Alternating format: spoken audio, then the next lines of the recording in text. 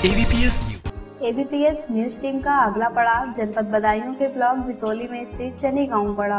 इस गाँव की दूरी ब्लॉक से 14 किलोमीटर तो वहीं जिला मुख्यालय से यह गाँव 50 किलोमीटर दूर स्थित है। वर्तमान समय में ग्राम वासियों ने नीरज देवी को अपना ग्राम प्रधान चुनकर गाँव के विकास की ज़िम्मेदारी उन्हें सौंपी है। लगभग चार हज़ार अस्सी की आबादी एवं दो हज़ार छप्पन वोटरों वाला यह गाँव विकास के पथ आरोप अग्रसर है। गाँव में तीन सौ अस्सी राशन कार्ड धारक लाभार्थी है। बात अगर शिक्षा के स्तर की करें तो गाँव की प्राइमरी पाठशाला व जूनियर हाई स्कूल में लगभग 308 विद्यार्थी शिक्षा ग्रहण कर रहे हैं। वहीं गाँव में पेयजल आपूर्ति व्यवस्था दुरुस्त करने के लिए 48 हैंडपंप लगे हुए हैं, जिसमें से वर्तमान प्रधान द्वारा तीन हैंडपंप रिवोल कराए गए हैं। विद्युत व्यवस्था दुरुस्त करने के लिए गाँव में 128 विद्युत पोल, दो विद्युत ट्रांसफार्मर व सोलर लाइट भी लगी हुई है। वहीं बात अगर विकास कार्यों की करें तो वर्तमान प्रधान द्वारा गाँव में सीसी टाइल्स रोड सात खडंजे, पानी निकासी के लिए नाली व पुलिया का निर्माण कराया गया है। साथ ही वर्तमान प्रधान की देखरेख में स्वच्छ भारत मिशन के तहत एक सौ सत्ताईस इज़्ज़त घरों व प्रधानमंत्री आवास योजना के तहत बत्तीस आवासों का भी निर्माण कराया गया है। वहीं एबीपीएस न्यूज़ टीम से बात करते हुए ग्राम प्रधान प्रतिनिधि ने सीसी टाइल्स रोड, खडंजा,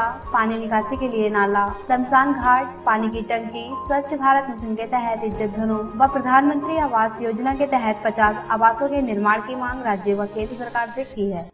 मैं ग्राम प्रधान पुत्र चनी सरकार ने जो मुझे पैसा दिया था, उसका बाखूबी प्रयोग किया गया है, इंटरलॉकिंग की गई है, सीसी किया गया है, खड़ंजे किए गए हैं।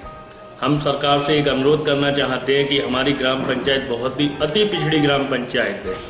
हम आपसे निवेदन करना चाहते हैं कि हमारी ग्राम पंचायत को आप सबसे पहले जो आपकी योजना चल रही है, समग्र ग्राम विकास योजना, उसमें शामिल करने का कष्ट करें, क्योंकि हमारे गाँव की सड़कों की स्थिति काफ़ी हद तक ठीक नहीं है। गाँव में की स्थिति ठीक नहीं है, गाँव अति पिछड़ा है, हमारा गाँव पूरा का पूरा लगभग 50 परसेंट से ज़्यादा कच्चा है। हम सरकार से अनुरोध करते हैं कि हमें ज़्यादा नहीं, एक सौ छियानवे प्रधानमंत्री आवास दिलाने का कष्ट कर दें, जिससे कि हम जो लोग कच्चे आवासों में रह रहे हैं, उनके लिए पक्के मकान दे सकें। इसके बाद हमारे लिए सड़कों के लिए धन की आवश्यकता है। हम सरकार से अनुरोध करते हैं कि हमारे लिए धन की आवश्यकता आपसे जितनी है, उतना आप हमें नहीं दे पा रहे हैं। हमें अधिक संख्या में धन दें। आप हमें धन दोगे, हम बाखूबी काम करेंगे। मैं सरकार से एक अनुरोध और करना चाहता हूँ एक ग्राम पंचायत संगठनी, एक ग्राम प्रधान, सबसे छोटा व्यक्ति होता है, उसके बावजूद नब्बे से छियानवे परसेंट कार्य अगर कोई कराता है तो वो है ग्राम पंचायत। आप इसका पूरा डाटा उठा के देख लीजिए, जहाँ चाहे वहाँ जाँच करा लीजिए, लेकिन प्रधान कभी कार्य कराने में हमेशा ध्यान देते हैं, पूरा ध्यान देते हैं। ये मेरा आपसे निवेदन है। मैं आपसे सरकार से फिर एक बार अनुरोध करूँगा, आप ग्राम पंचायतों की तरफ़ ध्यान दीजिए।